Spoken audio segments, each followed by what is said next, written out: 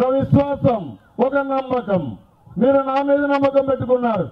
నేను మిమ్మల్ని నమ్మా దాని పర్యవసానమే బ్రహ్మాండంగా మనం అభివృద్ధి చేశాం. మళ్ళీ చెప్తున్నా ఈ విశాఖపట్నాన్ని అభివృద్ధి చేసే శక్తి సామర్థ్యం ఒక్క తెలుగుదేశం పార్టీకే ఉంది. నిన్న మొన్న గవర్నమెంట్ ఆఫ్ ఇండియా ఏదైతే మోస్ట్ లివబుల్ సిటీస్ అని అనౌన్స్ చేశారు ఒకప్పుడు పదేళ్ళలో విశాఖపట్నం మూడో ప్లేస్. ఇప్పుడు ఎన్నో ప్లేస్ తమ్ముడు నలభై ఆరో ప్లేస్. నేను పెట్టిన చెట్లకు నీళ్ళు పోయి రాకపోతున్నారు దుర్మార్గులు వీళ్ళు. నీళ్ళు. నేను విశాఖపట్నం వస్తే ఆనందంగా చూసేవాడిని.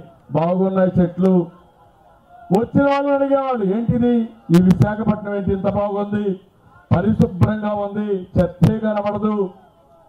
అని ఆ రోజు మాట్లాడితే ఇది చెత్త మున్సిపాలిటీగా తయారు చేశారు కార్పొరేషన్గా తయారు చేశారు. అవునా కాదా? నేను అడుగుతున్న విమానాశ్రయాన్ని ఆ రోజు మనమే తీసుకొచ్చి. అవునా కాదా? అదాని గ్రూప్ ఏమైంది? పోయి పారిపోయింది. అదే మరి లూలు గ్రూప్ ఏమైంది? అక్కడ పెద్ద టవర్ పెట్టి హైదరాబాద్లో హైటెక్ సిటీ మారిగా దానికంటే బ్రహ్మాండంగా ఉండాలని మీరు బ్రహ్మాండంగా సీ పక్కన కొండల పైన బ్రహ్మాండమైన టవర్ కట్టాను. అది ఏమైంది ఇప్పుడు? లేదు తమ్ముళ్ళు విశాఖపట్నానికి ఒక శని పట్టింది. ఎవరా శని? ఎవరా శని? ఎవరా శని? ఎవరా శని? రెడ్డి. A B C D policy. దీని ద్వారా జంగల్ రాజ్ అటవిక రాజ్యం. ఏ అంటే ఏంటి దాడులు. ఎవరన్నా కానీ మాట్లాడితే వాళ్ళపైన దాడులు చేస్తారు. వాళ్ళ ఆస్తులపైన దాడులు చేస్తారు. అప్పుడే శ్రీనివాసరావు పైన కూడా చేశారు దాడి. చేశారా లేదా? ఎవడిచ్చాడు నీకు ఈ అధికారం? నీ అబ్బ సొత్త ఈ రాష్ట్రం. ఏమనుకున్నావు నువ్వు? మళ్ళా రోజులు వస్తాయి. బట్టలు వేసుకొని తిరిగే పరిస్థితి ఉండాలి నీకు. ఆ విషయం గుర్తుపెట్టుకోమని హెచ్చరిస్తున్నా. మమ్మల్ని ఇబ్బంది పెడుతున్నావు.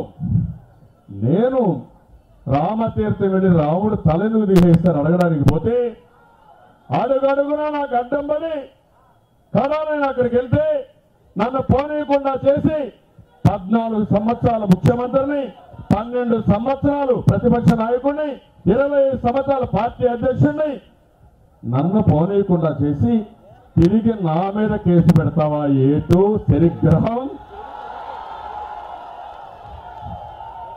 ఏమనుకుంటున్నారు మీరు? అంటే నువ్వు ఏం చేసినా జరిగిపోతుంది అనుకుంటున్నావా? జరగవు జరగనివ్వం. నీ కథ తేలుస్తాం. మీరు చూశారు. ఈరోజు నేను అడుగుతున్నా విశాఖ ఉక్కు చెప్పండి విశాఖ ఉక్కు. విశాఖ ఉక్కు. విశాఖ ఉక్కు. ఏం చేశారు దీన్ని వీళ్ళు? ఏ వన్ను మాట్లాడతారు? ఏమని? ఏం బాధ లేదు. ఏడు వేల ఎకరాలు ఉంది. దాన్ని అమ్మేస్తే సరిపోతుంది అంటాడు. వీడి భూమి మీదనే పని ఈయనకు. కబ్జాల మీదనే పని వీడకు మనం ఏమన్నాం కష్టపడదాం. ఈ యొక్క ఆంధ్ర హక్కు ఇది సెంటిమెంట్తో వచ్చింది త్యాగాలతో వచ్చింది. ముప్పై రెండు మంది ప్రాణత్యాగాలు చేశారు. దీన్ని కాపాడమని మనం పోరాడుతూ ఉంటే ఏం బాధ లేదు కూల్గా ఆ భూ అమ్మేస్తే సరిపోతుందని. ఏటు ఏ వన్ ఏ టూని ఏం చెప్పాలని అడుగుతున్నా? మీరందరూ ఒకసారి ఆలోచించారు. రెండు వేల పద్నాలుగులో విజయలక్ష్మి గారు పోటీ చేసి ఓడించారు ఎందుకు ఓడించారు తమ్ముళ్ళు? అడ్డ పంచులు కట్టుకొని వచ్చారు అప్పుడు కూడా. కట్టుకొని వచ్చారా? అడ్డ పంచులు వచ్చారా? ఈరోజు మళ్ళా అడ్డ పంచులు వచ్చేసాయి ఇక్కడికి. ఆఫీసులు పెట్టారు సెటిల్మెంట్ ఆఫీసులు. భూ కబ్జాలు జరిగాయా లేదా అని మిమ్మల్ని అడుగుతున్నా. జరుగుతున్నాయా లేదా అని మిమ్మల్ని అడుగుతున్నా. తమ్ముళ్ళు ఏంటి పరిపాలన? ఒక పక్క దాడులు. అచ్చెన్నాయుడు పైన కేసు. అచ్చెన్నాయుడు అరెస్ట్ చేస్తారు. రవీంద్ర పైన అరెస్ట్ చేస్తారు. నా మీద కేసులు పెడతారు. కార్యకర్తల పైన కేసులు పెడతారు. దాడులు చేస్తారు. ఎవరైనా కార్పొరేటర్ నిలబడితే ఆ కార్పొరేట్ నిలబడకూడదని ఆయన చిన్న వ్యాపారం చేసుకుంటే కమర్షియల్ ట్యాక్స్లు పంపిస్తారు విజిలెన్స్ పంపిస్తారు. అంటే ఏంటి మీ కథ? పార్టీకి ఎవరైనా పనిచేస్తే వాడి మీద దాడి చేస్తారు. అంటే మీ ఉద్దేశం ఒకటి ఎవరు పోటీ చేయకూడదు భయపడిపోయి అప్పుడు వీళ్ళ అరాచకంలో జంగల్ రాజ్ ఆటవిక రాజ్యాన్ని పరిపాలించాలనుకుంటున్నారు. ఏం చేశారని మీకు ఓటేయాలా? నేను అడుగుతున్నా. ఒక పక్క దాడులు ఒక పక్క అందరిపైన ఇది చేశారు రెండో పక్కన బాధుడే బాధుడు ఏం తమిళ్ళు మధ్యమ రేట్లు చూశారా మీరు? ఏదో కష్టపడతారు కొంతమంది అలవాటు చేసుకున్నారు ఒక తగ్గేసి పడుకుందామని. దానిపైన ఏం చేశాడు? మూడు రెట్లు నాలుగు రెట్లు బాధుడే బాధుడు. ఓకే అప్పుడు కూడా భరిద్దామే. నాసిరకం Jaganmohan Reddy brand. Boom boom. Boom president whisky. President కూడా చెడ్డ పేరు వచ్చింది. Special status whisky. ఏంటి ఏ వన్ ఏ టూ ఏంటి కనప మాకు? దానిపైన నాసిరకం అందులో మళ్ళా రేట్లు ఎక్కువ నాసిరకం. అది తాగితే తమ్ముళ్ళు గోవిందా గోవిందా. ఏంటిది? అరాచకానికి అడ్డు లేదా అని అడుగుతున్నా మిమ్మల్ని. మీరు ఆమోదిస్తారని మిమ్మల్ని అడుగుతున్నా.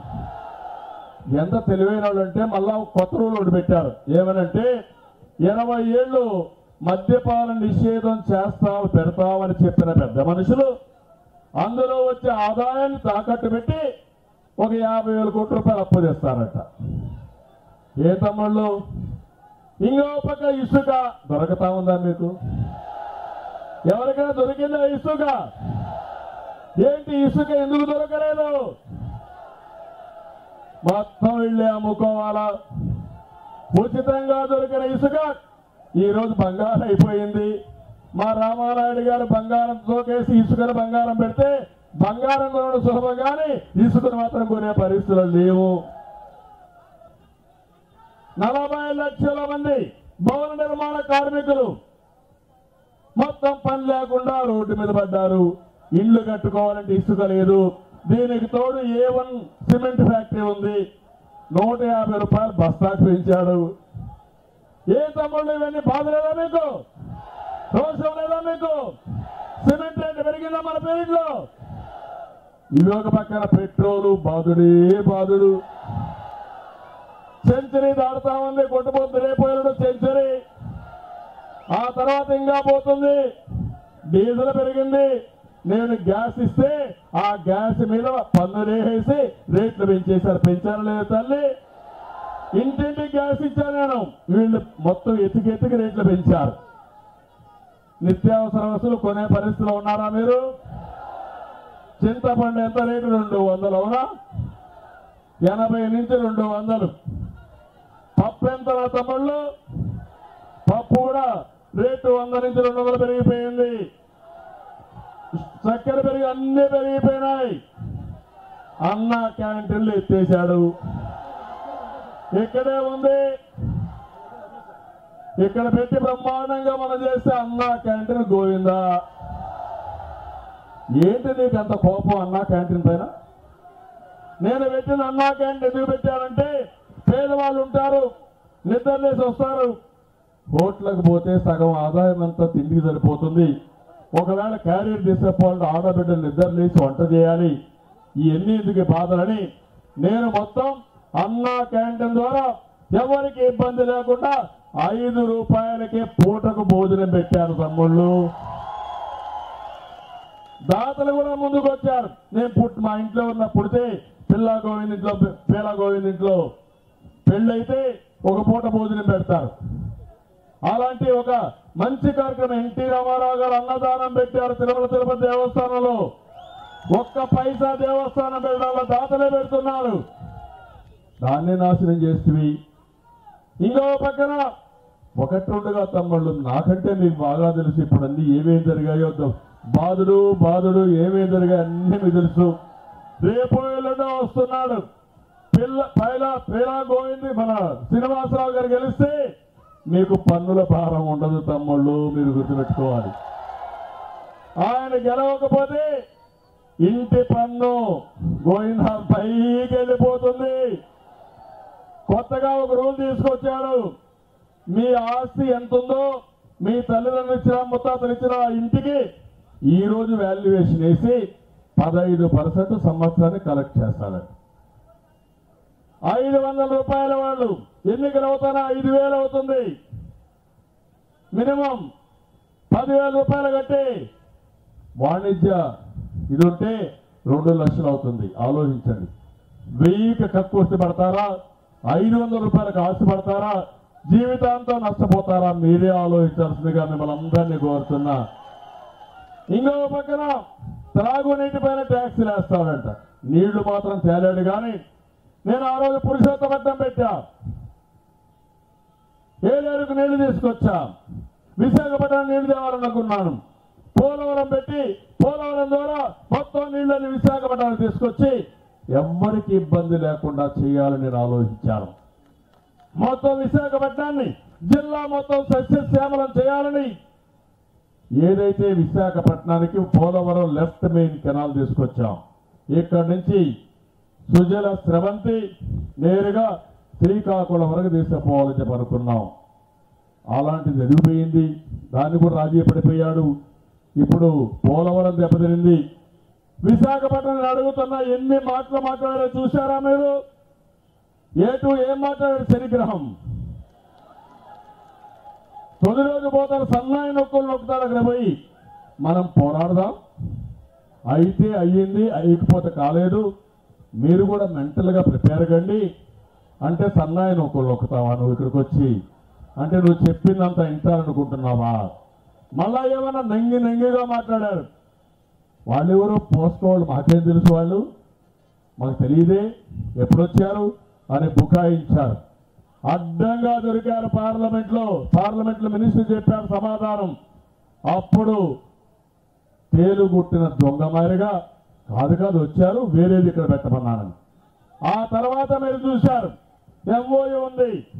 ఇదే ఇక్కడ మేము పెడతామని నాన్ బైండింగ్ అగ్రిమెంట్ చేశారని రిలీజ్ అయింది. ఎందుకు ఇన్ని తప్పులు చేశారు? ఈ రోజు ఇక్కడ టౌన్లో సీతమ్మదారులో భూమి ఉంటే ఆ భూమి ఎన్బిసిసికి ఇచ్చారు. నీకు తెలియకుండా ఇచ్చారు ఇవన్నీ. ఎందుకు వాస్తవం చెప్పు? ఈ ఏ వన్కి ఏ టూకి వాస్తవాలు చెప్పడం వాళ్ళకి ఎప్పుడు లేదు. వాళ్ళకి ఏదో ఒక శాపం ఉంది.